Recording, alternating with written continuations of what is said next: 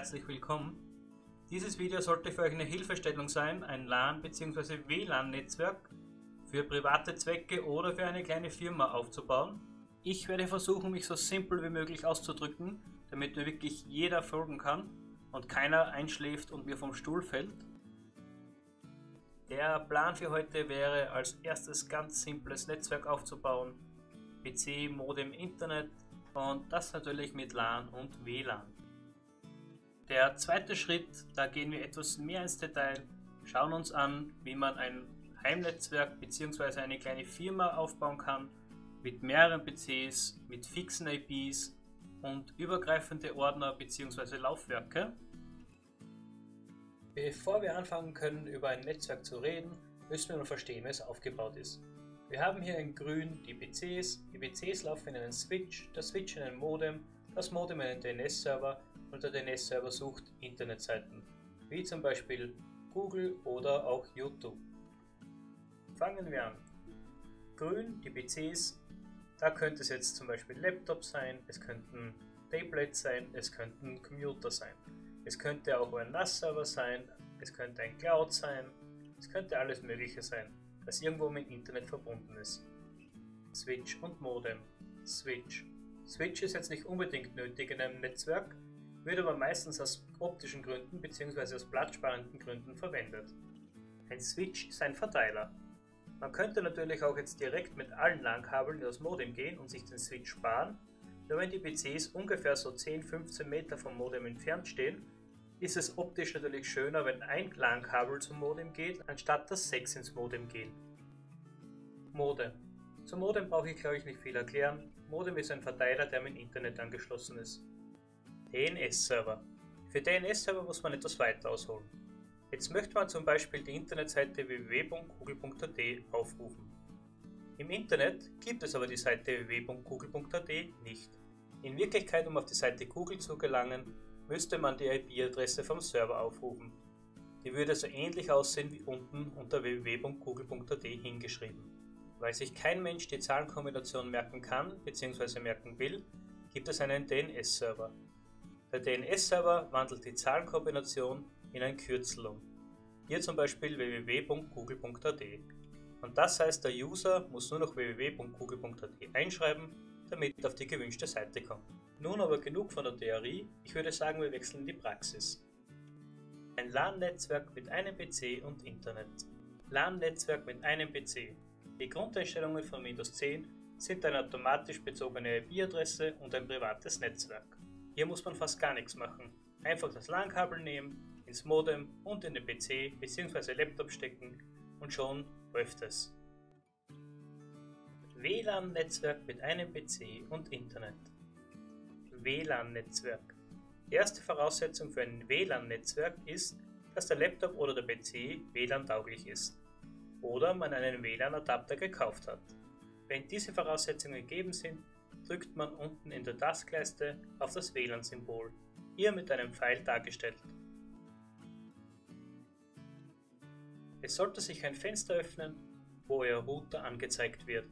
Solltet ihr nicht wissen, welcher Router euch gehört, bzw. euer WLAN-Passwort nicht mehr wissen, er steht auf der Hinterseite des Routers. Einfach eingeben und schon seid ihr verbunden. Wir sind im Part 2 unseres Videos angekommen, Heimnetzwerke mit mehreren PCs bzw. für kleine Firmen. Für Firmen ist es oft sehr wichtig, eine fixe IP-Adresse zu besitzen.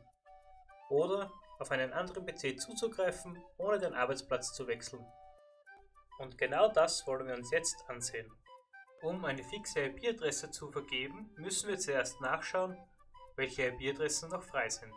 Denn es darf niemals zweimal die gleiche IP-Adresse in einem Netzwerk geben. Dafür muss man die Konsole des Computers öffnen. Hier gibt es zwei verschiedene Wege, wie man das machen kann. In der Taskleiste die Lupe klicken, CMD reinschreiben Enter klicken und die Konsole öffnet sich. Oder man kann hergehen, auf der Tastatur Windows und R gleichzeitig klicken, dann öffnet sich das Fenster Ausführen, dort CND reinschreiben und wieder Enter drücken. In die Konsole muss man dann ARP Leerzeichen Bindestrich A schreiben und Enter klicken.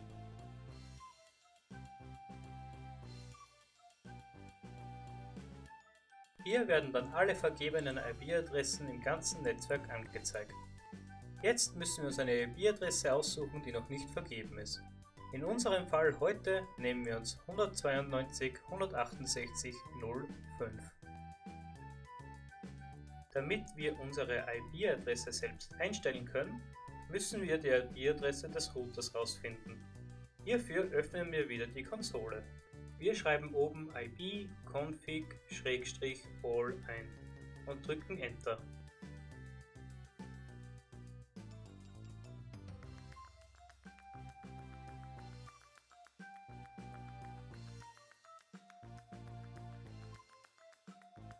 Nach ein klein wenig Suchen findet man Standard Gateway mit einer IP-Adresse hinten. Das ist die IP-Adresse des Routers. Die sollte man sich merken bzw. aufschreiben.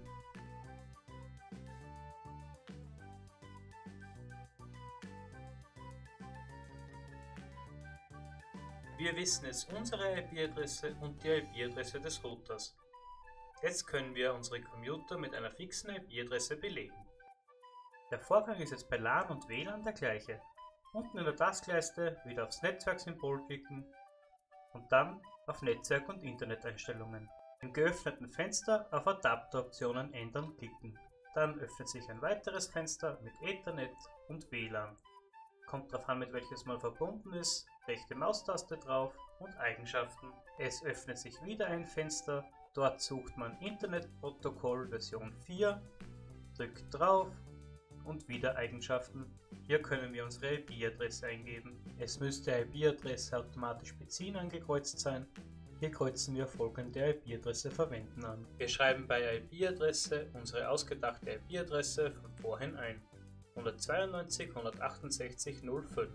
Bei Subnetzmaske einfach einmal draufklicken. Was das ist, ist recht schnell erklärt. Es ist wie beim Telefonieren. Man braucht eine Ortsverwahl und die IP-Adresse ist die Telefonnummer. Standard Gateway haben wir gerade vorhin rausgefunden. Und DNS-Server nehme ich am liebsten den von Google. 8.8.8.8 und der alternative DNS-Server 8.8.4.4. Dann auf OK drücken, dann schließt sich das Fenster, beim nächsten Fenster auf Schließen klicken, schließt sich wieder das Fenster und dann müsst ihr die IP-Adresse umschalten.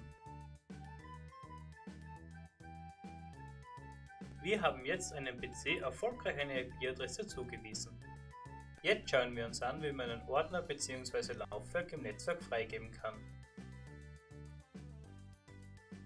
Hier sieht man, dass momentan drei Ordner von meinem PC im Netzwerk freigegeben sind. Wir werden hier jetzt einen neuen Ordner erstellen und diesen im Netzwerk freigeben. Dazu rechte Maustaste auf den neuen Ordner, Zugriff gewähren auf, rüberfahren und auf bestimmte Personen freigeben klicken. Dann kann man sich auswählen, für welche Personen man den Ordner im Netzwerk freigeben will. Dann auf Freigabe klicken und dann auf Fertig klicken. Und schon ist der Ordner bzw. das Laufwerk freigegeben.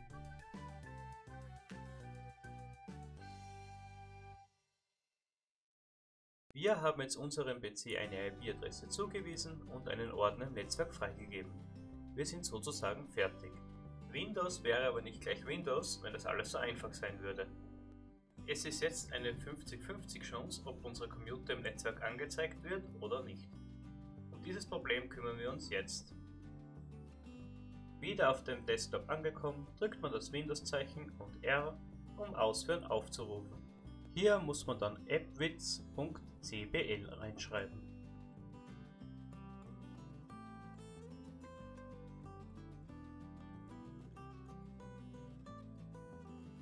Enter klicken und es öffnet sich wieder ein Fenster. Dann auf Windows Features aktivieren oder deaktivieren klicken. Es öffnet sich ein weiteres Fenster mit ganz viele Ordner drin.